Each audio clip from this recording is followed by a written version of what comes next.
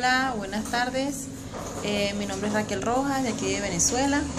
Este, soy integrante del entrenamiento de liberación de Cristo Libera, este, bajo cobertura del pastor Roger, Roger Muñoz.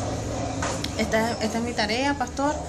Eh, vi el video de síntomas de opresión.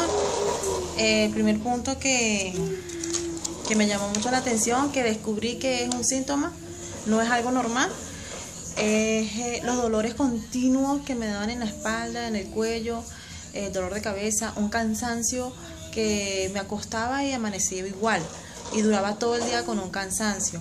Eh, otro em, es el, eh, el, miedo, sé que el miedo no es de Dios, pero ya un miedo extremo que uh, no puedo ir a un velorio o algo, así sea un familiar que se muera porque este, llegaba aturdida a mi casa.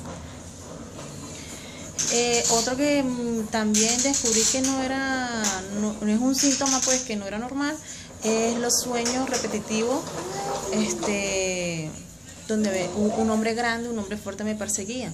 Me ha pasado ya varias veces y sé que no, ya lo identifiqué pues ya lo identifiqué. Son muchos puntos, pero estos fueron los que más me llamó la atención.